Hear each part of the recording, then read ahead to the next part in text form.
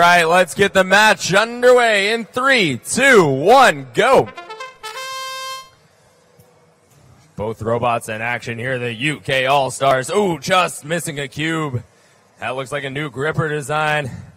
ITCV, though, launching some stars into the far zone worth two points apiece. Remember, in Autonomous, these guys are playing for that four point bonus going into the teleoperated period. Oh, and a cube scored into the far zone for our team in blue. Alrighty, that will end autonomous and we'll start teleop in three, two, one, go.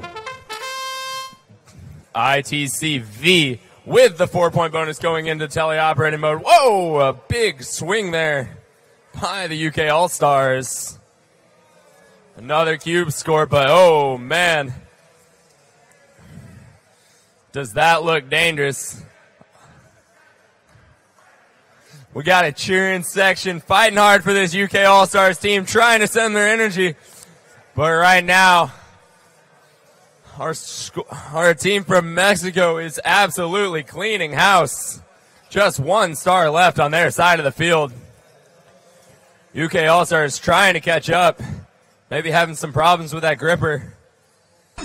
Now it's up in the air. They've got three stars. Oh! They are on uh, for a second there, I don't think there was a single part of the robot touching the ground. I didn't know you could do that in this game. UK All Stars trying to get upright. Hey, and they do. Will it be enough though?